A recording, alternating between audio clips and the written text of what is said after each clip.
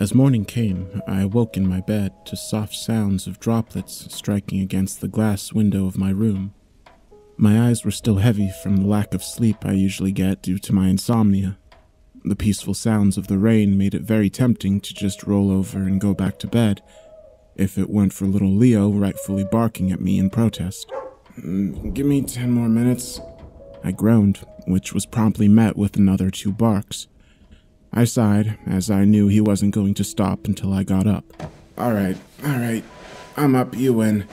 I checked my phone as I usually do when I first wake up. The time was 8:22 a.m. It was early in the morning, but it was hard to tell as the storm clouds outside did a very good job at blocking out the sun, creating a gray overcast across the dim sky. More interestingly, however, was the emergency weather warning notification, which read Emergency alert, hurricane warning in this area. This was a notification I've gotten many times before, and it wasn't a surprise, as local news stations have been talking about the upcoming storm for the past few days now. They predicted that by the time it got to my area, it wouldn't be all that bad, as the storm would hit land first on the southern coast of Florida and was predicted to make its way up to the eastern coast of North Carolina. It seems like it'll be a relaxing day for us, won't it, Leo? He barked in response, making me chuckle, as I knew he was only interested in the breakfast I have yet to give him. My stomach growled as well, letting me know that he also felt the same way Leo did. Minutes later, after heading to the bathroom to brush my teeth and wash my face, I made sure to fill one bowl with kibble and the other with water. I smiled as he began to ungraciously dig in and created a small mess that I would not enjoy having to clean later. After a quick shower and a bowl of cereal, I turned on the TV to see what was on. The first thing that caught my eye flicking through the channels was a rerun of one of those old Friday the 13th slasher films.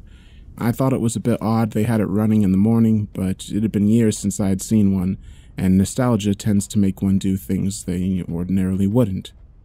It wasn't long before the sight of Jason killing mischievous and horny teens was interrupted by yet another emergency news broadcast. This is not a drill. The audio was booming at first, which made me jump in my chair a little, spilling milk and cereal all over the marble countertop. I quickly grabbed the remote and rapidly began tapping the volume button, listening to the rest of the warning announcement through ringing ears. Jesus Christ! I repeat, this is not a drill. To all those who receive this emergency message, it is advised that you stay indoors until further instruction is given. Under no circumstances are you advised to leave the house. Lock your doors and windows, and cover any and shut all blinds and or curtains to block out view outside. I repeat again, stay indoors. This is not a drill. The audio for the movie came back, much quieter this time, but I wasn't interested in it much after that. Leo was looking at me with the same puppy dog eyes that seemed to say, We'll be fine. I leaned down to gently rub Leo's head, his soft snow white fur like a fluffy pillow in my hand. Looks like the storm is worse than they anticipated. Hopefully, it blows over quickly. A loud crash of thunder reverberated through the skies, causing the small house to shake and shudder. Leo let out a small whimper, hiding underneath the kitchen stool I was sitting on. Don't worry, boy. It'll all be over soon, I promise. I did as the weather warning suggested, even if it was a bit odd. I mean, why would looking out at the storm be such a big concern? I guess if a window breaks, it could lead to somebody being injured. I was in the process of closing my living room curtain when something caught my eye. Across the street from me lived one of my close friends, Annie. We met when I first moved into the neighborhood three years ago, after she brought me a delicious homemade sweet potato pie that I still remember the taste of to this day. Her gaze met mine just for a moment, and it was hard to see her clearly through the heavy rain outside. I could barely make out a wave just before she shut the curtains, vanishing from sight altogether. About five minutes had passed before I heard the sound of my phone ringing. I could imagine the mischievous smile on her face as I read the name Annie on the caller ID. I answered the phone to hear a long, drawn out, high pitched, Hello? Yep, it was definitely her, as goofy and playful as she's always been. I laughed and responded. Good morning, Annie. I'm assuming you got that painfully loud emergency announcement as well? I wouldn't say painfully loud. Maybe your TV was just turned up higher than you thought. But yes, I got the announcement. I saw you in the window earlier, and you looked awfully tired, so I thought I'd give you a call to wake you up a bit. Yeah, I didn't get much sleep last night, and you know how it is with work and all. Well, why would I need to wake up anyway? It's not like I'll be doing anything or going anywhere with this storm today. I keep telling you, Harry, you really should look into another job. I understand you need the money, but those hours are killing you. And wouldn't it be better to enjoy a bit of free time every once in a while? And you never know. Something could happen, or you could miss an important announcement. They say there's a high chance of a tornado forming in the area. You might end up missing the alert. You know I can't do that, Annie. I've got a reputation to keep. I can't just up and leave. And besides, I'm sure at this rate the power will go out fairly soon, and they'll use the sirens to alert us if there is. Well, you never know. You can never be too safe. Don't worry so much. These types of big storms never last that long. I'm willing to bet this will all be over within a couple hours, or by the end of the day at the latest. I suppose you're right, but I've got a bad feeling about this for some reason. Now you sound like the one who needs to take a bit of rest. Don't worry about it so much. It'll be over before you know it. Hours had passed since that conversation. The sun was long gone, as the once gray clouds had turned black, letting no moonlight through at all. Looking out the window, I couldn't see a thing outside. The darkness alone was enough to make me feel uneasy. I've never been afraid of the dark before, but but I've never seen a darkness so thick and so impenetrable. Closed the curtains and turned around to see Leo curled up on the bed, shivering as he had been all day. Don't worry, boy, we'll be just fine. I said, laying down in bed, reaching down to pet his fluffy fur coat. Leo settled down, if only slightly, as we settled in for the evening. Three whole days have passed, and it still has not stopped storming. In fact, it's only been getting worse. I'd be lying if I said this wasn't starting to concern me. The clouds have been getting darker and darker to the point where I can't tell if it's daytime or nighttime outside. It's just constant darkness, drowned out by the never ending rainfall. The power keeps flickering on and off for hours at a time, and cell service is all but completely gone. I've tried letting Leo out into the backyard to use the bathroom, but he refuses to set foot outside the house. Whenever I go to open the back door, he barks and growls at me. I've never once seen him behave like this, even when I first got him. Ever since this storm blew in, he's been acting strange, refusing to eat meals and constantly snarling at the windows. Today, I was lucky enough to have power flicker back on for only a few minutes. Upon seeing this, I immediately hooked my phone up to the charger as it had been long dead. I flipped on the TV to try to get an update on the weather. Every channel I turned to was met by the same emergency alert. This is not a drill. If you are receiving this message, you are in immediate danger. Under no circumstances are you to exit your home. Stay indoors and never look outside. No matter what you hear, do not trust the sirens. This is not a drill. The message was on repeat on all channels. Do not trust the sirens. What does that mean? That was when it finally hit me. It was faint and distant, but I could definitely hear it. In the distance, there were multiple tornado sirens and alert broadcasts blasting out. Some sounded like they were getting closer, and others sounded like they were getting further and further away. Once my phone was charged up a bit and turned on, I heard it ringing from the kitchen. I raced toward it to see who it was. It was Annie again. I was surprised since I was barely getting a bar of signal. Hello? I answered calmly, but was met with an earful of very pissed off but relieved sounding Annie. Good lord, Harry. Why haven't you been answering your phone these past few days? I've been worried sick. I held the phone away from my ear, as she was loud enough I could hear her clearly with the phone a foot away. I'm sorry, Annie. I didn't mean to frighten you. Truth is, I honestly thought this whole thing would be over by the time I woke up the day you called. And I forgot to put my phone on the charger, and it died that night. I haven't been able to charge it till now since the power's been off. Jeez, Harry, I told you. You can never be too safe during times like these. I was thinking about coming over to check on you if you didn't pick up this time. But you've seen the warnings, right? They say under no circumstances should we leave the house. She let out an audible sigh. Harry, I care more about your safety than getting a little wet from the rain outside. If I think you might be in trouble, I won't hesitate to make my way over there as soon as I can. I felt a small smile tug on my lips. Annie somehow always knew just what to say to lift my spirits. Oh, thanks, Annie. You're the best. I took a small pause before deciding to bring it up. Have you also been hearing the distant sirens lately? Annie spoke up almost immediately, as she was quick to voice her disapproval. Yeah, I have. I don't like them. What do you mean you don't like them? It's just tornado sirens. It's nothing to be afraid of. It's not that. It's just. She trailed off, and another long pause elapsed as I waited for her to continue. It's just what? Have you ever noticed that it always sounds like there's multiple sirens all going off at once? Not only that, but they sound like. like they're moving around.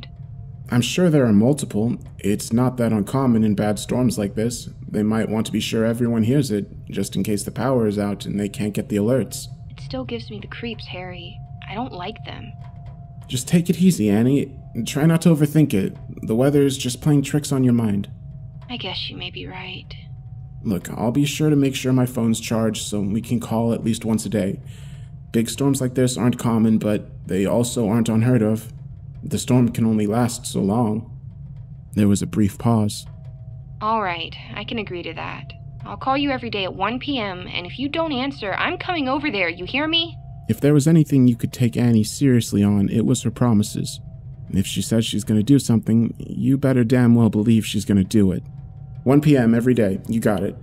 Now, try to get some proper rest, Annie. You sound like you need it.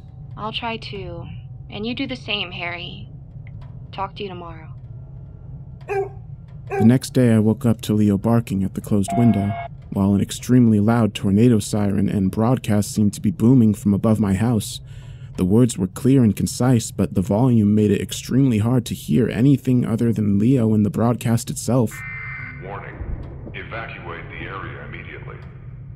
Multiple cyclones have been spotted in the area. In my groggy state and without second thought, I jumped out of bed and immediately raced to pick up Leo and make a mad dash for the car. I was only halfway down the hallway when it finally hit me. We don't have any tornado warning sirens this close to the neighborhood. Secondly, those tornado sirens don't usually come with a warning broadcast. Leo frantically thrashed around in my arms, growling and snarling at the nearest window. The phone! I thought out loud. There's no doubt that Annie must be hearing this too. I set Leo down after having thought the situation through a little more. Making my way back to my bedroom, I grabbed my phone, which was sitting on the dresser beside my bed. I waited eagerly for it to slowly boot up. Once it did, I saw it was 12 in the afternoon. Sitting at a measly 12% battery, and I had over 8 missed calls and 6 voice messages from Annie. I tried calling her back multiple times, but she never picked up the phone. Here were the voice messages. Harry, do you fucking hear that? There's no way you can be sleeping through it. When you get this message, call me back as soon as you can, alright? In the background, I heard the same screeching sound as the last three tornado sirens, similar to the ones I'd heard when I woke up. The sound is deafening, Harry. I I know we had an agreement of 1 p.m., but I might come check on you a little earlier if you don't check your phone soon. In this recording, the sirens were even louder, but it was a little difficult to hear them with the added sound of heavy rain. Annie must have left the house by this point. You could tell she was shouting just to be heard over it all. Harry, you're starting to worry me now. I'm coming over. If you happen to get this message before I get there, don't be surprised. The wind and rain is making it very difficult to move. Wait. What what the hell is that? At the end of the recording, almost everything else was drowned out by an ear splitting high pitched screech. That same high pitched screeching was still present in this clip, although it was muffled, it was definitely there. The sounds of rain and wind were gone, so I can only assume she made it back to her house. Her voice sounded shaky and scared, almost as if she was about to cry at any moment. Harry, please. Please call back soon. There's something in the storm. I only got a quick glimpse of it while crossing the street to get to your house, right as lightning flashed. It was tall and skinny. It looked human almost. If it weren't for how tall it was, and its head, it, its head was gone. There was only a pole with two megaphone or, or siren speakers attached. I don't know if it had eyes or where those eyes would even be. Even still, I'm sure it saw me or somehow knew I was looking at it. Because after that, it made that awful screeching sound that rapidly got closer. I made it inside, of course, but it, it hasn't gone away. In this recording, there was more screeching, although it was accompanied by dozens of emergency broadcasts, each of them saying the same thing. Warning. Red level maximum. Evacuate the area now. The automated voices were overlapping in the background, eventually devolving into a garbled mess of words. Annie sounded like she was whispering now, her voice shakier than the last message. There's so many of them. I don't know how much longer I can keep my composure, but it sounds like they just keep coming. I think the screech of the one that saw me is attracting more of them. I don't know how many there are, but I I keep seeing their silhouettes behind the curtains whenever the lightning flashes. They know I'm here, Harry. Please, whatever you do, don't go outside. The final message, I could barely hear Annie speak over the sounds of loud crashes and bangs, mixed in with horrified screams. All I was able to make out from the first 30 seconds of the message was They saw me! They're coming through the walls! So many! The second half of the message was much worse, as the sounds of rain and wind were present. My heart dropped as I could faintly hear the screams of Annie mixed in with all the other noise, and the distinct sound of what I could only assume to be bones being crunched like twigs under an ungodly amount of pressure from something, before the message ended abruptly. What the hell? There's no way this can be real. I must be losing my mind or something. The rain still hasn't stopped, and it doesn't look like it's letting up anytime soon. I hadn't noticed it before, but at some point while I was listening to those voice messages, the siren that had originally woke me had stopped. Truth be told, after what I had just heard, this did more to unnerve me than calm me. Leo was snarling at the window that faced Annie's house. What's wrong, boy? What's out there? I asked Leo, knowing I wouldn't get more of a response than more snarls and growls. That was it. I had to see it for myself. I had to prove to myself that I wasn't crazy, that this was all some kind of nightmare or something, right? Monsters don't exist. I walked over to the window and drew back the curtains, staring out into the black, watching as raindrops pelted the window, rolling down the glass in clumps of giant water droplets. I stared out of that window for hours. The suspense of it all was almost maddening by itself. The first lightning strike was when I saw it the destroyed remains of the house that used to be Annie's. It was almost wholly unrecognizable, to the point where it just looked like a pile of rubble. Standing just behind that pile of rubble, almost as if it were waiting for this moment for who knows how long, was the black outline of that thing Annie had described in the voice messages. An extremely tall, humanoid like creature whose head I didn't have time to fully see. And just as quickly as I had seen it, the lightning faded, and I sank to my knees when I heard the familiar, high pitched siren sound fill the air, followed by the robotic voice of an emergency broadcast.